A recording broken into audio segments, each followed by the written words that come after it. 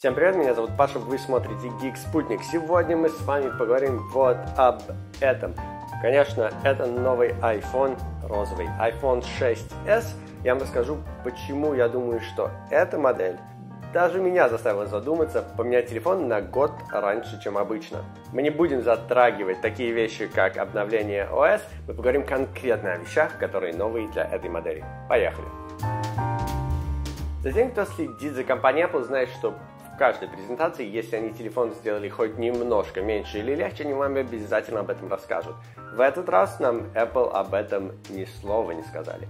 А это значит, что или ничего не изменилось, или все сдвинулось в другую сторону. Так вот, новый телефон стал немножко тяжелее, немножко толще, но в общем это совсем даже незаметно. Причина, почему они это решили сделать, это все из-за того, что Предыдущие телефоны у нас гнулись. Мы все видели, как люди в интернете гнули эти телефоны. И честно вам сказать, это для меня не было такой большой проблемой, но проблема появлялась тогда, когда я сверху клеил себе стекло для того, чтобы защитить стекло от телефона. И после какого-то момента, когда оно у меня было в кармане, оно всегда лопалось. Оно лопалось, потому что телефон сгибался, и это лопалось стекло. Поэтому проблема эта существовала. Она была не ужасная, но Apple эту проблему нам решили. Они также сделали стекло, которое сейчас немножко покрепче, как я понимаю, тоже стало немножко потолще, поэтому, в общем, телефон у нас потолстел. Apple решил нам об этом не говорить. Я думаю, что, если честно, большинство людей это даже не должно волновать. Самое главное, что телефон стал лучше. Ну и, конечно, как мы уже и ожидали, телефоне S у нас появляется новый процессор A9. А так вот, оказывается, что у этих новых айфонов есть два вида разных процессоров. Один процессор идет от Samsung, второй идет от компании, которая называется TSCM или T, T TSMC. Сейчас очень многие тестируют эти процессоры. Во-первых, процессор от Samsung оказался поменьше, чем процессор от TSMC. И также процессор от Samsung немножко тратит больше батарейки. Сами Apple говорят, что разница всего лишь 2-3%, но а, многие пишут, что если вы... Опять же, не знаю. Alexa, thank you. It's a pleasure. Так вот, процессоры Samsung, они также быстрее нагреваются, и у меня Samsung и правда телефон нагревается больше, чем предыдущая модель. Также люди, которые много играют на своих телефонах, говорят, что теряют они примерно до 20%. Это уже большая разница в течение дня. Поэтому, если вы хотите узнать, какой у вас процессор в вашем телефоне, я оставлю ссылку на приложение, которое вам даст об этом знать, и вы сможете посмотреть, Samsung у вас или TSMC. Там, конечно, поменяли также оперативную память, нас теперь оперативная память 2 гига вместо 1, и также новый M-процессор, который теперь позволяет вашему телефону, а конкретно вашей Siri, слушать вас постоянно, а не только когда вы подключены к розетке. Например, Hey Siri, how's the weather outside?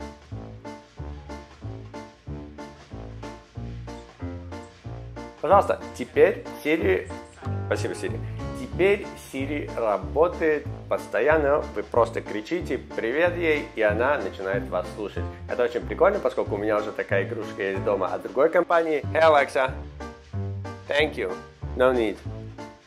Вот та вот штучка, которая называется Alexa, делает одно и то же, и мне это ужасно нравится, что мне не надо ни на что нажимать. И это все из-за нового процессора M9, который теперь позволяет постоянно это делать Siri, при этом не сажать очень сильно батарейку. Motorola это уже сделала давно еще в своих старых модах. Hey Siri. How's the weather in Moscow?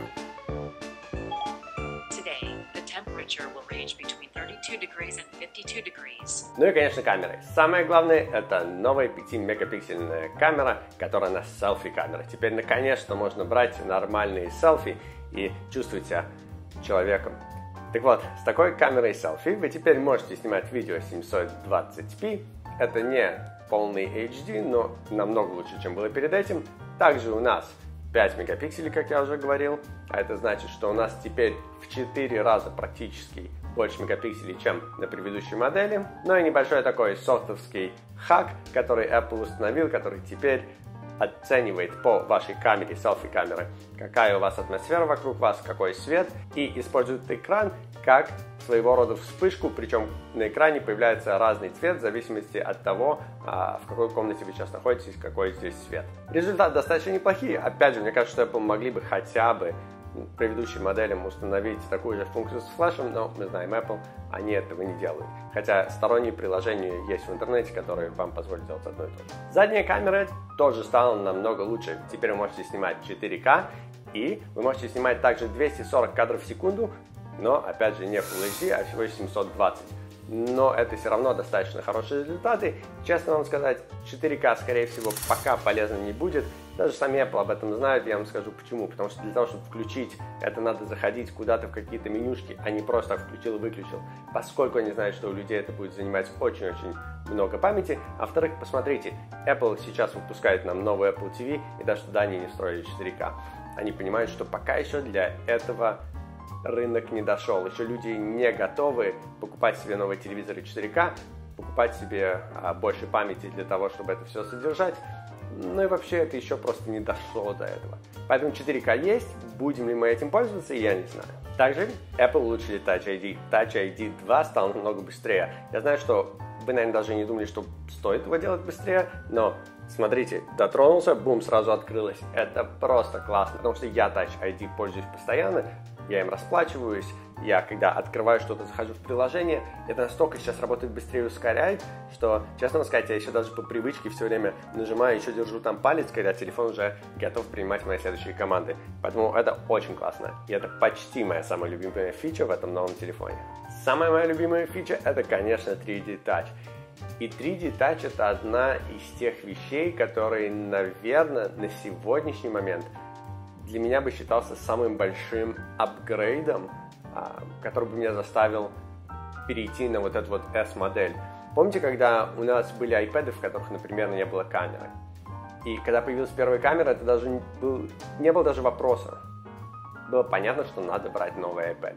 И вот это, это одна из тех ситуаций, потому что 3D Touch позволяет вообще сейчас обращаться своим телефоном совсем по-другому. Сейчас в браузере можно смотреть на ссылки без того, чтобы вам приходилось их открывать. Вы также можете открывать этим разные менюшки. Вы можете, не заходя в приложение, смотреть оттуда какую-то информацию. Вы можете, не заходя в приложение, выбрать при входе, куда вы хотите зайти.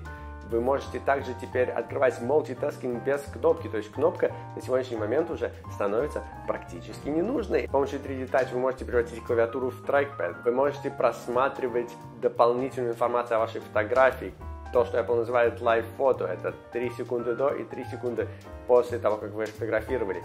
Это совсем новый вариант того, как Apple теперь накладывает, скажем так, другие слоя, которые мы сейчас с ними можем как-то работать.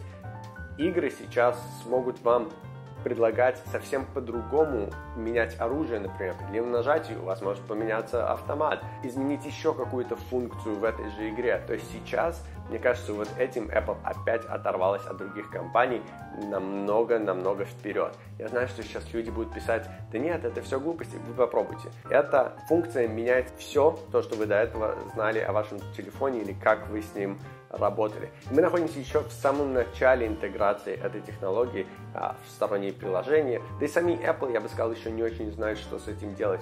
Но я уверен, что фантазии рынка а, нам покажут очень многие интересные вещи. Со всем этим, конечно, стоит задуматься одной вещи, что на сегодняшний момент это все появилось, но рынок еще все догоняет, то есть приложения еще к этому не готовы. А это значит, что, скорее всего, когда мы увидим полноценное использование этих всех новых функций, к тому моменту уже, скорее всего, появится новый iPhone. Поэтому, если вы очень хотите с этим поиграть, этот iPhone этого стоит. А, хоть мне не нравится дизайн, как и предыдущий, но это по-настоящему как бы шаг вперед, за который стоит заплатить и перейти на этот телефон на год раньше. Но если вас устраивает ваш предыдущий телефон, и вы готовы подождать, вы всю эту красоту, конечно, увидите в намного более э, обширном формате, когда выйдет новый телефон, и к тому моменту рынок уже к этому будет готов. Поэтому это было мое мнение про новый iPhone 6s. Напишите, что вы думаете, тех, у кого есть телефон, нравится вам это или не нравится. Я надеюсь увидеть вас всех в Москве 1 ноября на выставке Смит. Мы там собрали самые интересные гаджеты, которые нам нравятся. Это будет огромная выставка. Мы построили умный дом, мы привезли полно всего интересного, виртуальная реальность, всякие гаджеты. Но очень будет весело приходить, я там буду до 5 ноября. Вся информация, опять же, будет под этим видео, где купить билеты и так далее. А с вами мы увидимся в следующем эпизоде.